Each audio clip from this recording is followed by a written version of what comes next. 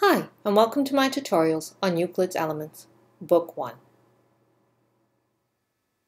This video presentation is going to be on Proposition 8 of Book 1, which states that if you have two triangles with equal bases and two sides equal to two sides respectively, this side is equal to this side, and this side is equal to this side, then the two triangles are equal in all respects.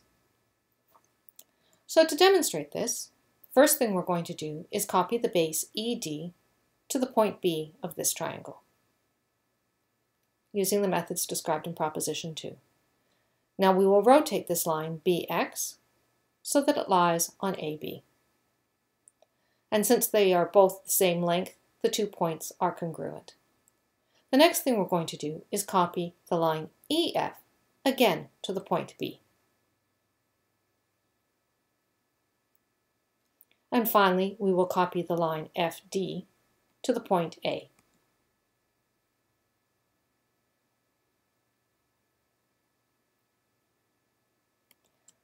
Now the question is, where will these two lines connect such that they form a triangle?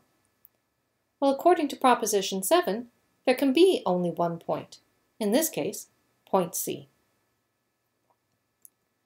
And since all the endpoints are congruent, it is by definition the same triangle, and all the angles are also equal.